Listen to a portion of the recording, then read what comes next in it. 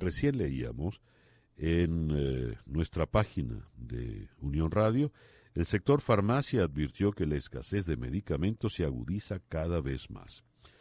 FEFARVEN insistió que es necesario que el gobierno acuerde junto a la industria nacional las vías para solucionar las fallas actuales. De esta escueta información se desprende que el gobierno todavía no se reúne de manera mm, eficaz con los sectores productivos.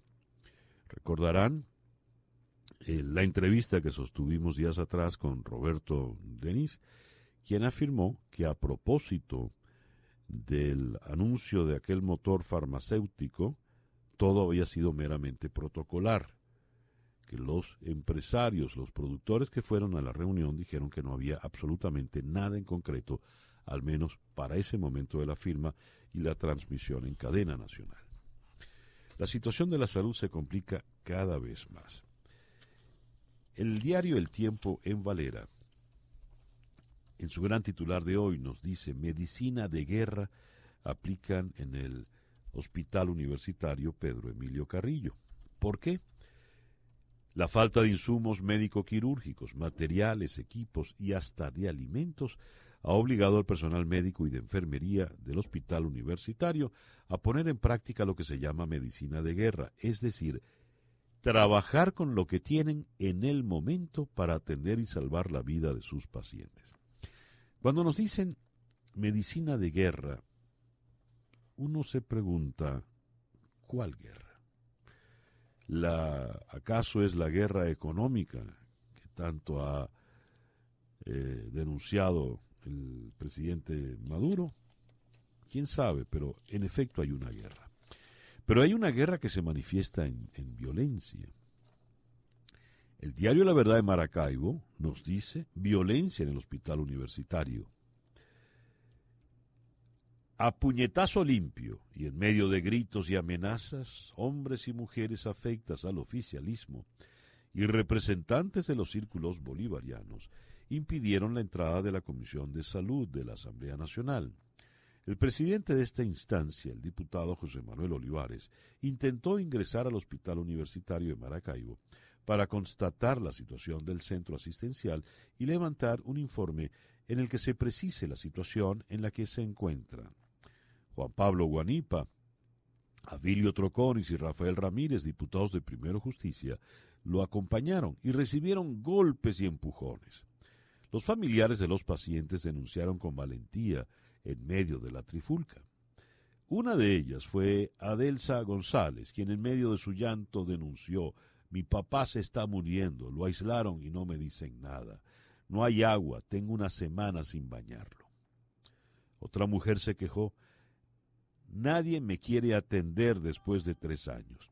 No tengo ni para comer, mucho menos para comprar los costos que me piden, las cosas que me piden. Ella se llama Xiomara eh, Rodríguez. Un hombre con chaleco amarillo amenazó a una mujer. Esta le reclamó, ¿cómo podéis defender la falta de medicinas en el universitario si ni sabéis cuántos son dos más dos? El hombre respondió, dos más dos son cuatro, cuatro pepazos que te puedo meter aquí mismo, a mí no me importa. Esa es la voz del fascismo. Esa es la voz de la violencia. Esa es la voz de la guerra que obliga a esa medicina de guerra en medio de penurias múltiples. Dice el diputado José Manuel Olivares, por eso perdieron el 6 de diciembre, porque se olvidaron de la gente. Es el primer hospital en el que no nos dejan entrar con una conducta agresiva. A todas estas, ¿qué dice el director del hospital? Samuel Viloria. Fue el poder popular el que actuó y no dejó entrar a la Comisión de la Asamblea Nacional a las instalaciones del hospital universitario. Esta declaración, doctor Viloria, es no solo fascista, sino en extremo cobarde. Absolutamente cobarde. Quiere decir que usted, como no tiene argumentos que exhibir ante la comisión de la Asamblea Nacional, que por cierto le encabeza un colega suyo, un médico también, Usted decidió llamar, pues, a las turbas, a los grupos de choque, para que la violencia lo protegiese. Eso es fascismo puro y duro. Violencia. Como violencia fue sabotear una sesión en la Asamblea Nacional a punta de abucheos desde las barras.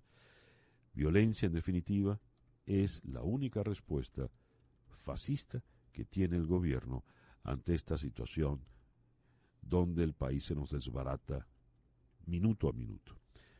La última noticia que me gustaría leer también viene de Maracaibo.